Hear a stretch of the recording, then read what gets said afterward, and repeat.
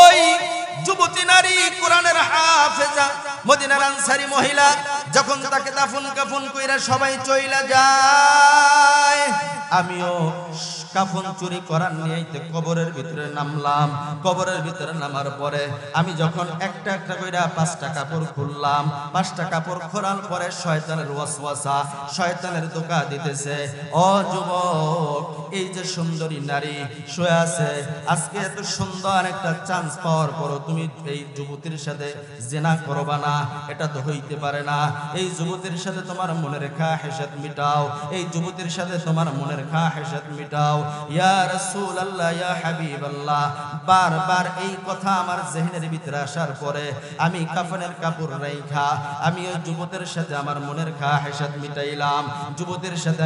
লিপ্ত হইলাম। যুবতের সাথে আমি বেবিচারে লিপ্ত হইলাম। ইয়া রাসূলুল্লাহ, ইয়া হাবিবাল্লাহ। আমি যখন যুবতীর সাথে জেনা কইরা বেবিচার কইরা কাফনের কাপড় নিয়ে যখন আমি রওনা হইলাম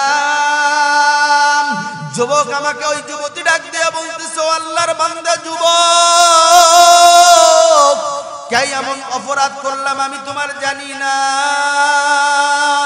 দুনিয়ার জামিনে, আমি একজন পর্দাওয়ালা মহিলা, আমি একজন কোরআনের হাফেজা। দুনিয়ার জামিনে আমার চেহারা কোনো বেগানা পুরুষ দেখতে পারে না। দুনিয়ার জামিনে আমার চেহারা কোনো বেগানা পুরুষ দেখে নাই। আমি কোনো বেগানা পুরুষের সামনে যাই নাই। দুনিয়ার জামিনে কোনো বেগানা পুরুষ আমার শরীরে কাজ করে নাই। ও যুবক, তুমি আমার সতীত্বকে নষ্ট করলা, তুমি আমাকে নাপক বানাইলা। আমি আমার আল্লাহর সামনে কি নিয়ে হাজির হব? এই নাপাক শরীর নিয়ে আমি আল্লাহর দরবারে হাজির হইতে হবে। ইয়া রাসূলুল্লাহ, আমি গুনাহটা বড় অপরাধ কইরা ফেলাইছি, আমি বড় অন্যায় কইরা ফেলাইছি। ইয়া রাসূলুল্লাহ, ইয়া হাবিবাল্লাহ, আমার এই অন্যায় আমার এই অপরাধ, বলেন বলেন, আমার আল্লাহ মাফ করবে কিনা? আল্লাহর নবী বলেন, ও যুবক, তোমার গুনাহটা তো আসলেই অনেক মারাত্মক, তোমার গুনাহটা তো আসলেই অনেক বড়, তোমার গুনাহটা তো আসলেই অনেক মারাত্মক। এবার যুবক দৌড়ে চলে যায়। যাওয়ার পরে আল্লাহ পাক রব্বুল আলামিন জিব্রাইলকে পাঠাই দিলেন, জিব্রাইল, যাও, আমার পয়গম্বরকে যে জানায় দাও। জিব্রাইল এসে বলেন, ইয়া রাসূলুল্লাহ, ইয়া হাবিবাল্লাহ এই আসমান কে বানাইছেন? বলে, আসমান বানাইছেন আমার আল্লাহ, এই জমিন কে বানাইছেন? বলে, জমিন বানাইছেন আমার আল্লাহ, এই পাহাড় পর্বত কে বানাইছেন? এবার সাহাবা ইকরাম বলেন, ইয়া রাসূলুল্লাহ, ইয়া হাবিবাল্লাহ আপনি দুনিয়ার জমিন থেকে বিদায় নিয়ে চলে যাওয়ার পর আমরা কার কাছ থেকে ইলম শিখব কার কাছ থেকে মাসআলা শিখব কার কাছ থেকে দিন শিখব এবার মায়ের নবী সাল্লাল্লাহু আলাইহি ওয়াসাল্লাম বলেন ও সাহাবায়ে کرام ইন্নাল উলামা ওয়ারাসাতুল আম্বিয়া ও সাহাবায়ে کرام আমি পয়গম্বর দুনিয়ার জমিন থেকে বিদায় নিয়ে চলে যাওয়ার পর তোমরা আলেমদের কাছ থেকে ইলম শিখবা, আলেমদের কাছ থেকে মাসআলা শিখবা, আলেমদের কাছ থেকে দিন শিখবা। কেন আমরা আলেমদের কাছ থেকে দিন শিখব? কেন আমরা আলেমদের কাছ থেকে মাসআলা শিখব? আমার মায়ের নবী সাল্লাল্লাহু আলাইহি ওয়াসাল্লাম বলেন আলেমরা হলো দুনিয়ার জামিনের সূর্য সন্তান, আলেমরা হলো শ্রেষ্ঠ সন্তান। আল্লাহ পাক রব্বুল আলামিন এই আলেমদের ব্যাপারে কোরআনুল কারীমের ভিতরে বলেন, ইন্নামা ইয়াখশাল্লাহ মিন ইবাদিহিল উলামা। দুনিয়ার জামিনে শুধুমাত্র, কেবলমাত্র একমাত্র আলেমরাই আমার আল্লাহকে ভয় করে কথা বলেন ঠিক না বে ঠিক? আজকে আলেমরা আল্লাহকে ভয় করার কারণে নবীর দায়িত্ব আলেমরা পালন করে। আমার মায়ের নবী যখন মক্কায় আমার মায়ের নবীর উপরে কোরআনের আয়াত নাজিল হয় নাই, আমার মায়ের নবীর উপরে কালামার দাওয়াত দেওয়ার হুকুম হয় নাই, আমার মায়ের নবী যখন বললেন, ইয়া আইয়ুহান নাস কুলু লা ইলাহা ইল্লাল্লাহ তুফলিহুন হে মানুষ সকল তোমরা বলো এক আল্লাহ আর ইলাহ নাই, এক আল্লাহ আর নাই, এক আল্লাহ আর উপাস্য নাই। আল্লাহর শেষ যদি তোমরা এই কথা বলো সকল কাম হয়ে যাইবা।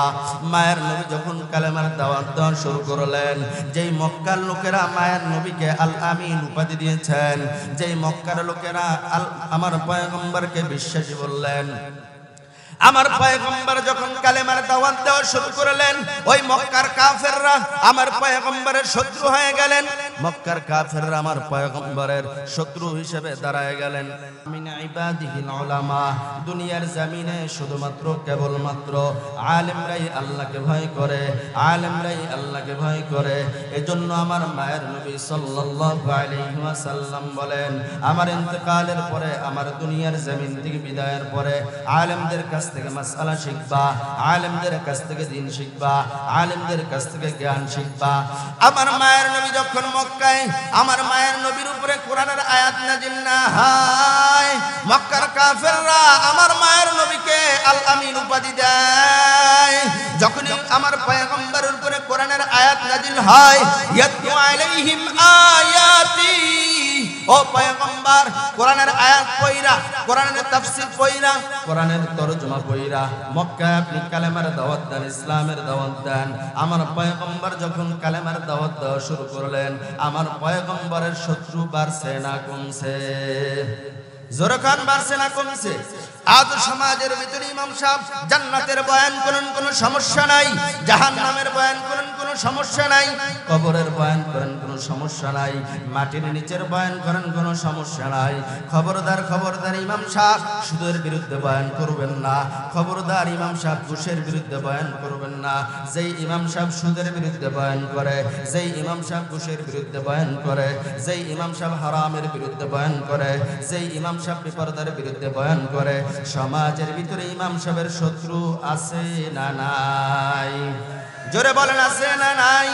এ মুসলমান ইমানদার, এই নবীর দায়িত্বটা আলেমরা পালন করার কারণে নবী যখন কালেমার দাওয়াত দিয়া মক্কার কাফেরদের কাছে শত্রু হয়েছেন, আজ সমাজের ভিতরে আলেমরা কোরআনের সঠিক কথা বলার কারণে, আলেমরা কোরআনের তাফসীর করার কারণে, আলেমরা কোরআনের তর্জমা করার কারণে, আলেমরা কোরআনের ব্যাখ্যা করার কারণে আজকে আলেমদেরকে জেলখানার ভিতরে আটকায়, আলেমদেরকে নিয়ে কারাবন্দি করে রাখে। হে মুসলমান ইমানদার, আমার মায়ের নবীকে শিয়াবি আবু জেলখানার ভিতরে রাখছে। কিন্তু আমার মায়ের তিন বছর কারাদণ্ড রাখার পরেও আওয়াজ বন্ধ করতে পারে নাই। আওয়াজ আওয়াজ চালু আছে। জেলখানার ভিতরে আটকাইবা? কয়জন আলেমকে জেলখানার ভিতরে রাখবা? কয়জন আলেমকে খাসার ভিতরে আটকাইবা? কয়জন আলেমের উপর স্টিম রুলার চালাইবা? এক মামুনুল হক জেলখানায়, এক মামুনুল হক জেলখানায়। আল্লাহ তাআলা প্রত্যেকটা ঘরে ঘরে মামুনুল হক কোরআনের আলেম, কোরআনের হাফেজ তৈরি করে দেবেন। কথা বলেন ঠিক না বেঠিক এ বাংলার জমিন থেকে আলেমদেরকে জেলখানার ভিতরে আটকায়া আলেমদেরকে কারাবন্দি কইরা বাংলার জমিন থেকে কোরআনের আওয়াজ বন্ধ করা যাবে না। কথা বলেন ঠিক না বেঠিক আরও জোরে বলেন ঠিক না বেঠিক হে মুসলমান ইমানদার, আমার মায়ের নবী বিদায় হজের মাধ্যমে দিন পরিপূর্ণ করে দিলেন। আমার আল্লাহ তাআলা এই দিনকে শুরু করছেন আদম নবীর মাধ্যমে। আদম নবীর মাধ্যমে দিনকে পরিপূর্ণ করে নাই, নূহ নবীর মাধ্যমে দিনকে পরিপূর্ণ করে নাই, ঈসা নবীর মাধ্যমে দিনকে পরিপূর্ণ করে নাই, মুসা নবীর মাধ্যমে দিনকে পরিপূর্ণ করে নাই, দাউদ নবীর মাধ্যমে দিনকে পরিপূর্ণ করে নাই। আমার আপনার পয়গম্বর বিদায় হজার বাসনে সোয়া লক্ষ সাহাবা ইকরামের মাঝে আল্লাহর হুকুমে আমার পায়গম্বার দিনকে পরিপূর্ণ করেছেন বলেন, সুবহানাল্লাহ। এ মুসলমান ইমানদার, এজন্য আলেমরা সূর্য সন্তান, আলেমরা দামি, বলে সব আলেম না, কিছু আলেম আছে সরকারি আলেম, কথা কন ঠিক না বেঠিক যারা সরকারের পক্ষে কথা বলে, যারা সরকারের গুণগান গায়, যারা সরকারের পক্ষে থাকে কোরআনও মানে না, হাদিসও মানে না, ইসলামও মানে না, এরা হলো সরকারি আলেম। কিছু আলেম আছে দরকারি আলেম, কিছু আলেম আছে আলুর মতো, গোলালুর আলেম। সমাজের ভালো কাজেও আছে, মন্দ কাজেও আছে। এই আলেম না, কোন আলেম? বলে হকানি আলেম? যে আলেম সুন্নতের পাবন্দির মাপকাঠিতে চলে, যে আলেম সুন্নতের খেলাফ করে না, যে আলেম আল্লাহর হুকুম রসুলের তরিকা মতো চলে, ওই আলেম হলো সবচাইতে দামি আলেম। সব আলেম আলেম না, যে আলেম দেখা ইমান আমল পরিবর্তন হয়, বুঝতে হবে ওই আলেম হলো হকানি আলেম। কথা বলেন ঠিক না বেঠিক আরও জোরে বলেন ঠিক না বেঠিক হে মুসলমান ইমানদার সব আলেম আলেম না। সবাইকে জেলখানার ভিতর আটকায় না, সবাইকে খাসার ভিতর আটকায় না। যারাই কোরআনের সঠিক কথা বলে, যারা ইসলামের সঠিক কথা বলে, যারা কোরআনের সঠিক তাফসীর করে, তাদেরকে খাসার ভিতরে আটকায়। এ মুসলমান ইমানদার সৈয়দ কুতুব শহীদ রহমতুল্লাহি আলাই যিনি তাফসিরে ফি জিলালিল কোরআনের লেখক, যিনি তাফসিরে ফি জিলালিল কোরআন লিখেছেন।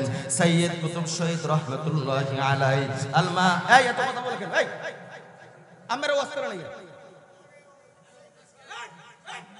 ভিতরে বসেন। সবাই বসেন বসেন ভিতরে বসেন। কোনো মূল্যই নেই কি অবস্থা? এই অন্ধার রয়েছে বসো। বসো।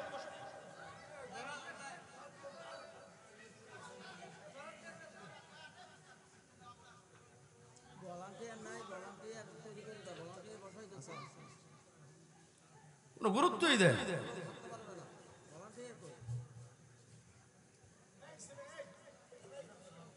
আল্লাহ সবাইকে সঠিক বুঝ দান করুক। কি আপনাদের বিরক্ত লাগে? হ্যাঁ?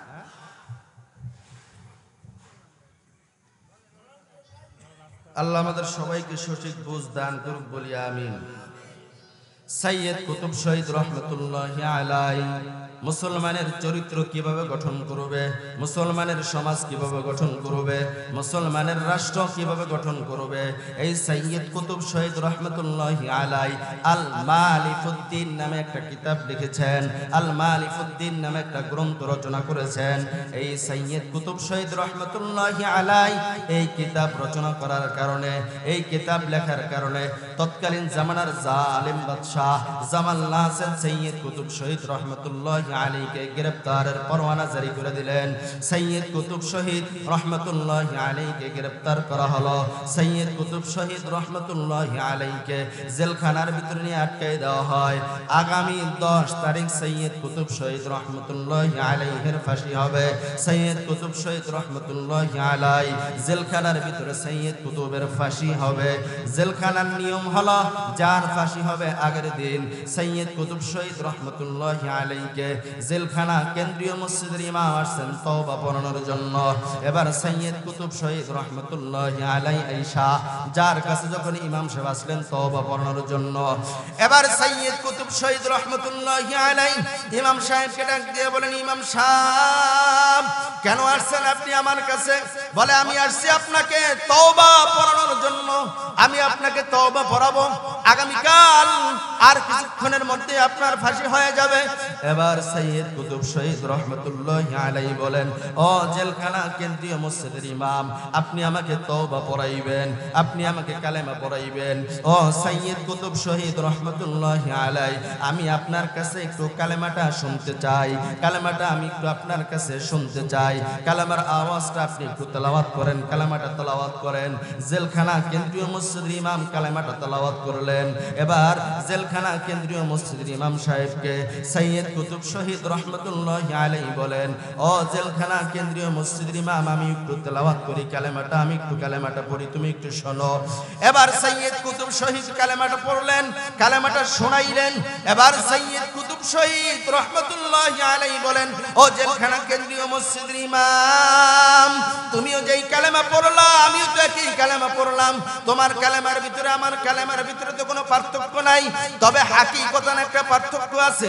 কি পার্থক্য আছে হাকিকতান পার্থক্য ও সৈয়দ কুতুব শহীদ রহমতুল্লাহ আলাই জেলখানা কেন্দ্রীয় মসজিদের ইমাম, তোমার কালেমা আর আমার কালেমার মধ্যে একটাই পার্থক্য। আমার কালেমা যে আলমা আলিফুদ্দিন কিতাব লেখার কারণে সৈয়দ কুতুব শহীদ যিনি ফি জিলালিল কুরআন লিখেছেন, এই সৈয়দ কুতুব শহীদ রহমতুল্লাহ আলাই বলেন, ও জেলখানা কেন্দ্রীয় মসজিদের ইমাম, তুমিও যেই কালেমা পড়লা, আমিও তো একই কালেমা পড়লাম। তোমার কালেমা, আমার কালেমার মধ্যে তো কোনো পার্থক্য নাই। হাকি হাকিকতান একটা পার্থক্য আছে, কি জানো? বলে, তোমার কালেমায় তোমাকে জেলখানা, কেন্দ্রীয় মসজিদের ইমাম বানায়া সরকারি ভাতা তোমাকে প্রদান করা হয়। আর আমার কালেমার আওয়াজ দেওয়ার কারণে, আমার কালেমার দাওয়াত দেওয়ার কারণে আজকে আমাকে এই সরকার, জালিম সরকার আমাকে জেলখানার ভিতরে আটকায়া তারপরে ফাঁসি দেয়। কথা বলেন ঠিক না বেঠিক? একই কালামা। আমি বললে আমাকে সরকার ভাতা দেয়, সরকার আমাকে বাহাবা দেয়। আমি সরকারের দলের লোক।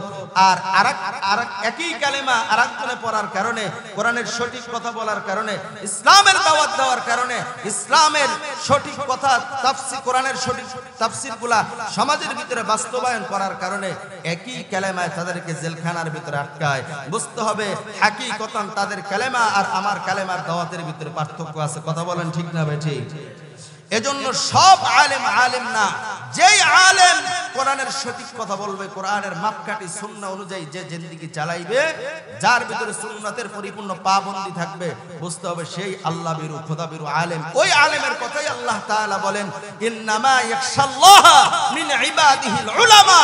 দুনিয়ার জমিনে শুধুমাত্র, কেবলমাত্র একমাত্র আলেমরাই আল্লাহকে ভয় করে। আলেমরাই কি করে? আল্লাহকে ভয় করে। আলেমরা আল্লাহ তাআলাকে ভয় করে। শোয়ারটা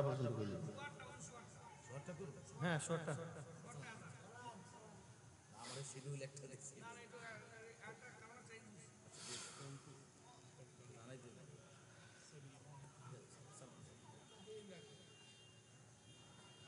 যে কথা বলতেছিলাম, যে আয়াতে কারিম আমি তেলাওয়াত করেছি, আল্লাহ তাআলা বলেন, কুল ইয়া ইবাদিয়াল্লাযীনা আসরাফু আলা আনফুসিহিম লা তাকনাতু মির রাহমাতিল্লাহ। ইন্নাল্লাহা ইয়াগফিরু যুনুবা জামিআ, ইন্নাহু হুয়াল গফুরুর রহিম। আল্লাহ তাআলা বলেন, কুল ইয়া ইবাদিয়াল্লাযীনা আসরাফু, দুনিয়ার জমিনে বান্দা অন্যায় করবা অপরাধ করবা। আলা আনফুসিহিম, নিজের নফসের সাথে জুলুম করবা, অত্যাচার করবা। দুনিয়ায় আমরা গুনাহ ছাড়া কোনো মানুষ নাই। এই যে আমি বক্তা সাহেব আপনাদের মাঝে বৈশা লেকচার দিতেছি, কথা বলতেছি। আমি বক্তা সাহেবও বলতে পারব না, আমার জীবনে কোনো গুনাহ নাই। গুনাহ ছাড়া কোনো মানুষ নাই, একমাত্র নবীরাই ছিল নিষ্পাপ। নবীদের জীবনে কোনো গুনাহ ছিল না। আমার মায়ের নবী সাল্লাল্লাহু আলাইহি ওয়াসাল্লামের জীবনের কোনো গুনাহ নাই। আমার মায়ের নবীর জীবনের আগের গুনাও মাফ, পরের গুনাও মাফ। ইন্না ফাতাহনা লাকা ফাতহাম মুবিনা, লিয়াগফিরা লাকা আল্লাহু মা তাকদ্দামা মিন যামবিক। وما تأخر ويتم نعمته عليك ويهديك صراطا مستقيما আমার মায়ের নবীর জীবনের আগের পরের সব গুনাহ মাফ এই আমার মায়ের নবী সাল্লাল্লাহু আলাইহি ওয়াসাল্লাম জীবনে এক প্রত্যেক দিন 100 বার আল্লাহ তাআলার কাছে তওবা করছেন আল্লাহ তাআলার কাছে ইস্তিগফার করছেন এজন্য মুহতারাম হাজিরিন আমার আল্লাহ তাআলা বলেন কুল ইয়া ইবাদিয়াল্লাযীনা আসরাফু আলা أنفسهم لا تقنطوا من رحمة الله. إن الله يغفر الذنوب جميعا. إنه هو الغفور রহিম। আমার আল্লাহ তাআলা বলেন, বান্দা, দুনিয়ার জমিনে নিজের নফসের উপরে জুলুম করছ, অন্যায় করছ, গুনাহ ছাড়া কোনো মানুষ নাই। লা তাকুনা তুমির রহমাতিল্লাহ। বান্দা, আমি আল্লাহ তাআলার রহমত থেকে নৈরাশ হওয়া যাবে না। এ মুসলমানি বান্দার, একটা গুনাহ করার কারণে আবুল বাশার পয়গম্বর আদম আলাইহিস সালাতু সালাম আল্লাহ তাআলা জান্নাতের ভিতরে রাখলেন, জান্নাতের নাজ নেয়ামত ভোগ করাইলেন। আমার আল্লাহ বলেন, ওয়ালা তাকর হাদিহি শাজারা ফাতাকুনা মিনাল যালিমিন ওয়া আদম হাওয়া, ওই যে একটা গন্ধম ফলের গাছ দেখা যায়। গন্ধম ফলের গাছের ধারে কাছেও যাইবা না। গন্ধম ফল ভক্ষণ করবা না। এ মুসলমান ইমানদার, শয়তানের ওয়াসওয়াসায় ধোকায় পড়ে। আল্লাহ তাআলার একটা হুকুম লঙ্ঘন করলেন। আম্মাজান হাওয়া আর আদম আলাইহিস সালাতু ওয়াস আমার আল্লাহ তাআলা দুইজনকে দুই প্রান্তে পাঠাই দিলেন। দুই প্রান্তে পাঠাই দেওয়ার পরে তিন শত ষাট বছর পরে তাফসিরের কিতাবের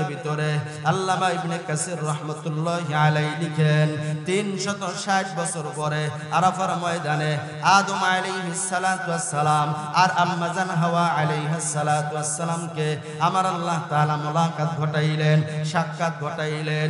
তিন শত ষাট বছর পরে আদম নবী আসমানের দিকে মাথা উঠায় বলতেছে আল্লাহ আসমানের ভিতরে জান্নাতের ভিতরে যখন রাখলেন জান্নাতের নাজ নামাত ভোগ করলাম। জান্নাতের চৌকাটের উপর একটা নাম লেখা দেখলাম। লা ইলাহা ইল্লাল্লাহ মুহাম্মাদুর রাসূলুল্লাহ। লা ইলাহা ইল্লাল্লাহ, এটা আপনার তাওহীদ, এটা আপনার একাত্মবাদ, এটা আপনার তাওহীদিয়াত। ও আল্লাহ মুহাম্মাদুর রাসূলুল্লাহ এটাকে অবশ্যই আপনার মুহাব্বতের মানুষ, অবশ্যই আপনার বন্ধু, অবশ্যই আপনার প্যারা হাবিব। আল্লাহ আপনার প্যারা হাবিবের উসিলায় আজকের এই তওবা, দোয়াকে আপনি কবুল করে নেন বলেন আমিন।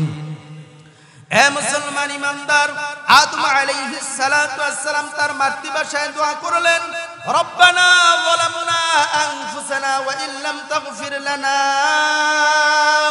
وترحمنا لنكونن من الخاسرين আদম আলাইহিস সালাতু ওয়াসসালাম দোয়া করলেন আল্লাহ পাক রব্বুল আলামিন আদম নবীর দোয়াকে কবুল করলেন আল্লাহ পাক রব্বুল আলামিন জানায় দেন ও আদম আলাইহিস সালাতু ওয়াসসালাম আমি আল্লাহ তাআলা যেই পয়গম্বরের উসিলায় আমার বন্ধুর উসিলায় আপনার তওবাকে কবুল করলাম আপনি যেই দোয়াটা পাঠ করলেন কিয়ামত পর্যন্ত আমার আমার শেষ নবী মুহাম্মদুর রাসূলুল্লাহ সাল্লাল্লাহু আলাইহি ওয়াসাল্লামের জন্য এই দোয়াটাকে হাদিয়া দিলাম। আমা ও পয়গম্বর, আপনি জানায় দেন, আপনার যেই উম্মত পাঁচ ওয়াক্ত নামাজের পরে আদম নবী যেই দোয়া পড়ে আল্লাহর কাছে দোয়া করছে, এই দোয়া যদি আপনার উম্মত পাঁচ ওয়াক্ত নামাজের পরে পড়ে, রব্বানা যালামনা আনফুসানা ওয়া ইন লাম তাগফির লানা ওয়া তারহামনা লানাকুনান্না মিনাল খাসিরিন। এই দোয়াটা যদি পড়ে, আল্লাহ পাক রব্বুল আলামিন আমার পয়গম্বরকে জানায় দেয়, আদম নবীর দোয়া, তওবা যেইভাবে আমি আল্লাহ কবুল করলাম, আপনার উম্মত যদি এই দোয়া পড়ে, আমি আল্লাহর কাছে মাফ চাই। আপনার উম্মত যদি পাহাড় পরিমাণে গুনাহ করে, আমি আল্লাহ তাআলা আপনার উম্মতের পাহাড় পরিমাণে গুনাহ আমি আল্লাহ মাফ করে দেব, বলেন সুবহানাল্লাহ। এজন্য আমার আল্লাহ তাআলা বলেন, কুল ইয়া ইবাদিয়াল্লাযীনা আসরাফু আলা আনফুসিহিম ইয়া ইবাদি, আমার বান্দা, আলা আনফুসিহিম। নিজের নফসের উপরে জুলুম করেছ, অত্যাচার করেছ। লা তাকুনাতু মির রাহমাতিল্লাহ। আল্লাহর রহমত থেকে নৈরাশ হওয়া যাবে না। খাঁটি দিল আল্লাহ তাআলার কাছে তওবা করো। ইয়া আইয়ুহাল্লাযীনা আমানু, আল্লাহ তাআলা বলেন, হে আমার ঈমানদার বান্দা বান্দিরা তুবু ইলাল্লাহি তাওবাতান নাসুহা। খাস দিলে আল্লাহ তাআলার কাছে তওবা করো তওবা নাসুহা করো। তওবা শব্দের অর্থ হলো ফিরে আসা। এমন ভাবে আল্লাহ তাআলার কাছে খাস দিলে তওবা করবা, আর গুনাহ করব না, আর অন্যায় করব না। এ মুসলমান ইমানদার, খাস দিলে যদি তওবা করতে পারো, আমার আল্লাহ তাআলা তোমার দোয়া কবুল করবে। জামানার নবী হযরতে মূসা আলাইহিস সালাতু ওয়াস সালাম, মিশরের জমিনে বৃষ্টি হয় না? এবার মূসা আলাইহিস সালাতু ওয়াস সালাম কওম জাতিদের লোকদেরকে নিয়ে সালাতুল ইস্তিসকা আদায় করতেছেন। বৃষ্টির নামাজ আদায় করতেছেন। মূসা আলাইহিস সালাতু সালাম বৃষ্টির জন্য আল্লাহ তাআলার কাছে দোয়া করেন, আয় আল্লাহ, মিশরের জমিনে বৃষ্টি হয় না, মিশরের জমিনে বৃষ্টি দাও। আল্লাহ পাক রব্বুল আলামিন জিব্রাইলকে পাঠাই দিলেন, জিব্রাইল, যাও, আমার নবী মূসাকে জানায় দাও, যেই মজলিসের ভিতরে দোয়া করতেছেন, ওই মজলিসের ভিতরে একজন জেনাকার আছে, জেনাকার। যে জেনা করছে, অন্যায় করছে, অপরাধ করছে, ওই জেনাকার যতক্ষণ মজলিস থেকে না উঠে যাবে। ততক্ষণ পর্যন্ত আমি আল্লাহ তওবা কবুল করব না। ততক্ষণ পর্যন্ত আমি আল্লাহ দোয়াকে কবুল করব না। এ মুসলমান ইমানদার, আল্লাহর নবী মুসা আলাইহিস সালাতু ওয়াস সালাম বলেন, কে আসো জেনাকার, কে আসো অন্যায়কারী, কে আসো অপরাধ, আল্লাহর হুকুম লঙ্ঘন করেছ। নিজের জীবনটাকে জেনা কইরা কইরা কাটাই দিছো। আল্লাহ তাআলা তোমাকে হুকুম করছেন, মজলিস থেকে উঠে যাও। নয়তো আল্লাহ তাআলার কাছে নাম চিহ্নিত কইরা তোমাকে উপযুক্ত শাস্তি, উপযুক্ত বিচার করা হবে। এবার মজলিসের ভিতরে যেই যে নাকার আল্লাহ তাআলার কাছে বলেন, আয় আল্লাহ, আমি যে গুনাহ করেছি, জেনা করেছি, অন্যায় করেছি, অপরাধ করেছি আমার গুনাহের কথা আমার মা জানে না, আমার গুনাহের কথা আমার বাবা জানে না, আমার গুনাহের কথা আমার ভাই জানে না, আমার গুনাহের কথা আমার বোন জানে না, আমার গুনাহের কথা আমার সন্তান জানে না, এমনকি আমার গুনাহের কথা আমার স্ত্রীও জানে না, এমনকি আমার গুনাহের কথা জমানার নবী মুসাও জানে না। আল্লাহ, আমি খাস দিলে তওবা করতেছি। আল্লাহ, আপনি আমার তওবাকে কবুল করে নেন। আমি আর জেনা করব না, অন্যায় করব না, অপরাধ করব না। এ মুসলমান ইমানদার মুসা ওয়াস সালাম আল্লাহ তাআলার কাছে যখন দোয়া করলেন আল্লাহ, মিশরের জমিনে বৃষ্টি দাও, মিশরের জমিনে বৃষ্টি দাও। যুবক আল্লাহ তাআলার কাছে দোয়া করতেছে, খাটি দিলে তওবা করতেছে। আল্লাহ পাক রব্বুল আলামিন মিশরের জমিনে বৃষ্টি দান করলেন, বলেন, সুবহানাল্লাহ। এবার মুসা নবী ডাক দিয়ে বলেন আল্লাহ, কোন যুবক তো মজলিস থেকে উঠে নাই, কোন লোক তো মজলিস থেকে উঠে নাই। তুমি বললা, যুবক, না উঠলে মিশরে বৃষ্টি দিবা না। মিশরের জমিনে রহমতের বারিশ বর্ষণ করবা না। এবার আমার আল্লাহ পাক রব্বুল আলামিন বলেন, মুসা, আমি আল্লাহ বলেছি যে এই যুবকের কারণে বৃষ্টি দিব না। আমি আল্লাহ যা জানি তুমি তা জানো না। আমি আল্লাহ তাআলা ওই যুবক খাটি দিলে তওবা করছে। আমি আল্লাহ তাআলা ওই যুবকের দোয়াকে কবুল করেছি। ওই যুবকের দোয়া কবুল কইরা আমি আল্লাহ তাআলা মিশরের জমিনে রহমতের বারিশ বর্ষণ করেছি, বলেন, সুবহানাল্লাহ। এ মুসলমান ইমানদার, আমরাও যদি পাহাড় পরিমাণে গুনাহ করি, আর আল্লাহর কাছে খাটি দিলে তওবা করি, আমার আল্লাহ তাআলা আমাদের তওবা কবুল করতে পারেন কি পারেন না? আরও জোর বলেন, পারেন কি পারেন না? এ মুসলমান ইমানদার, তওবা কবুলের হাজার হাজার ওকে আছে, হাজার হাজার ঘটনা আছে। বুখারীর ভিতরে একটা ঘটনা বর্ণনা করা হয়। খলিফাতুল মুসলিমিন হযরত ওমর ফারুক রাদিয়াল্লাহু তাআলা আন। পয়গম্বরের সাথে সাক্ষাৎ করার জন্য রওয়ানা। পয়গম্বরের সাথে মোলাকাতের জন্য রওয়ানা। মদিনার চৌরাস্তায় দেখতেছেন একজন যুবক, আল্লাহর বান্দা কাঁদতেছেন। হযরত ওমর প্রশ্ন করছেন, মা ইউবকিকা ইয়া শাবাব? হে যুবক, কেন তুমি কাঁদো? দুনিয়ার কোন জিনিস তোমাকে কাঁদায়? যুবকের কোনো আওয়াজ নাই। যুবক দুই চোখের পানি ফালায়া চৌরাস্তায় গড়ায় গড়ায় কান্দে। এবার আমার ডাক দিয়ে বলেন যুবক, কেন কাঁদো? মা কি গায়া শাবাব ও যুবক দুনিয়ার কোন জিনিস তোমাকে কাঁদায়? কোন গুনাহ তুমি করেছ, কোন অন্যায় করেছ? যেই অন্যায়ের কারণে তুমি কাঁদতেছো। খলিফাতুল মুসলিমিন হযরত ওমর রাদিয়াল্লাহু তাআলা যুবককে যখন বারবার প্রশ্ন করে, যুবক কোনো উত্তর দেয় না। এবার খলিফাতুল মুসলিমিন হযরত ওমর ফারুক রাদিয়াল্লাহু তাআলা আনহুকে যুবক ডাক দিয়া বলতেছে, "ও খলিফাতুল মুসলিমিন ওমর, আপনি আমাকে একটু পয়গম্বরের কাছে নিয়ে চলেন, আমি একটু পয়গম্বরের কাছে যাব। এবার খলিফাতুল মুসলিমিন হযরত ওমর রাদিয়াল্লাহু তাআলা আন যুবককে নিয়ে পয়গম্বরের কামরায় রওয়ানা। পয়গম্বরের দরবারে হাজির হয়ে গেছে। এবার খলিফাতুল মুসলিমিন হযরত ওমর বলেন, ও পয়গম্বর, আপনার এই যুবক সাহাবী, এই যুবক আল্লাহর বান্দা, মদিনার চৌরাস্তায় গইরা গইরা কাঁদতেছে।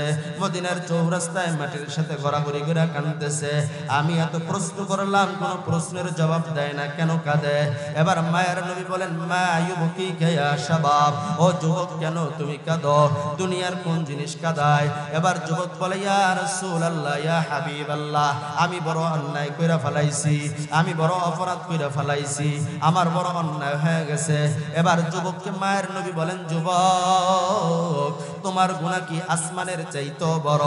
যুবক বলে, ইয়া রাসূলুল্লাহ, ইয়া হাবিবাল্লাহ, আমার গুনাহ তো আসমানের চাইতে অনেক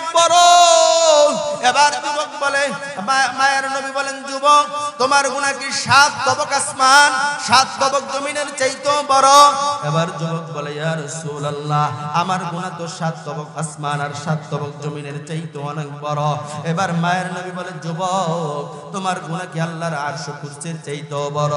এবার যুবক ডাক দিয়ে বলে, ইয়া রাসূলুল্লাহ, ইয়া হাবিবাল্লাহ, আমার গুনাহ তো আল্লাহর আরশ আজিমের চাইতো অনেক বড়। এবার মায়ের নবী সাল্লাল্লাহু আলাইহি ওয়াসাল্লাম বলেন, যুবক, কি এমন গুনাহ করছ? তোমার গুনাহের কথা একটু বলো। তোমার গুনাহের কথা আমি একটু শুনতে চাই।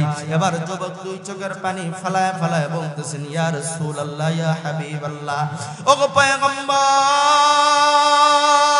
মদিনার বাজারে আমি কাফনের চুরি কইরা কইরা বিক্রি করি, ইয়া রাসূলুল্লাহ, ইয়া হাবিবাল্লাহ। আমার পেশাই হলো কাফনের কাপড় চুরি করা, আমার কাজই হলো কাফনের কাপড় চুরি করা। কাফনের কাপড় রাত্রে চুরি করে, দিনে মদিনার বাজারে বিক্রি করে।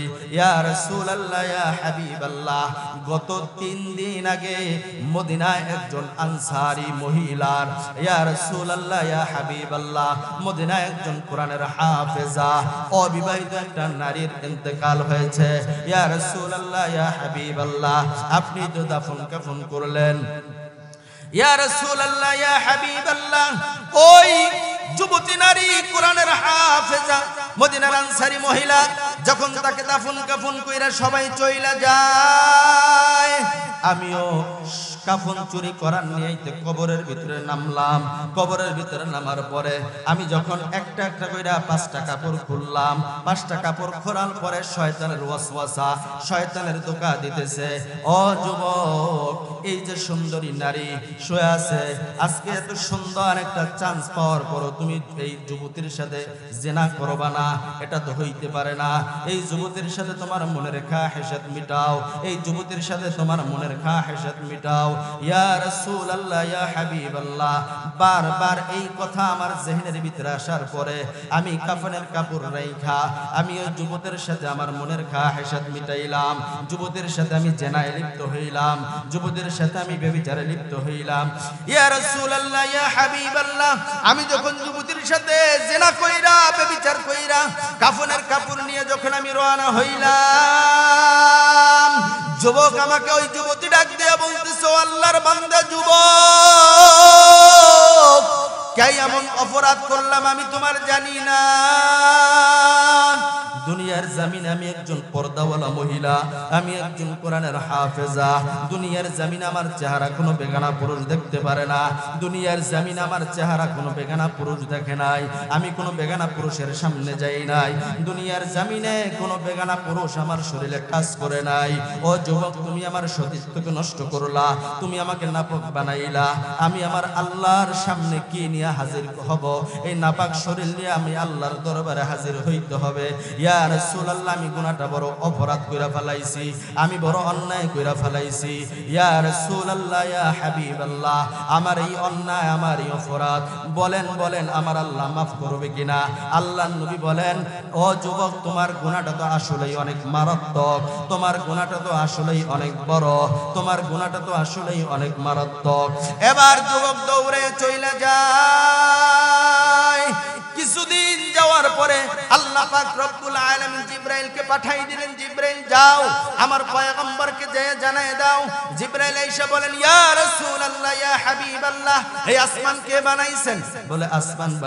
আমার আল্লাহ, এই জমিন বানাইছেন? বলে, জমিন আল্লাহ, এই পাহাড় পর্বত কে বানাইছেন? বলে, পাহাড় পর্বত বানাইছেন আমার আল্লাহ, এই গোটা দুনিয়া কে বানাইছেন? বলে, গোটা দুনিয়া বানাইছেন আমার আল্লাহ। এবার যুবক ডাক দিয়া বলতেছে, ইয়া রাসূলুল্লাহ জিব্রাইল ডাক দিয়া বলতেছে, ইয়া রাসূলুল্লাহ, ইয়া হাবিবাল্লাহ, কিছুদিন আগে যেই যুবক আপনার কাছে আসছে, ওই যুবক পাহাড়ের চূড়ায় গিয়া কানতে কানতে চোখ থেকে রক্ত বের হইতেছে, ইয়া রাসূলুল্লাহ, ওই যুবক খাটি দিলে আল্লাহ তাআলার কাছে তওবা করছে।